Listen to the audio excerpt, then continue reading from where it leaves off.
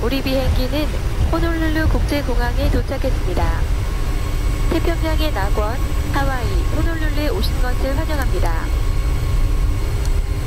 지금 이곳은 9월 27일 토요일 오전 10시 27분입니다.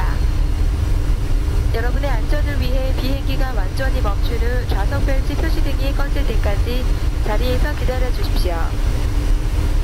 선반을 여실 때는 안에 있는 물건이 떨어질 수 있으니 조심해 주시고 내리실 때는 잊으신 물건이 없는지 다시 한번 확인해 주시기 바랍니다. 오늘도 스카이팀 회원사인 저희 대한항공을 이용해 주셔서 대단히 감사합니다. 저희 승무원들은 앞으로도 안전하고 편안한 여행을 위해 최선을 다하겠습니다. 감사합니다. Ladies and gentlemen, we have landed at Honolulu International Airport. The local time is 10:28 a.m. Saturday, September 27. Please remain seated until the captain turns off the seatbelt sign.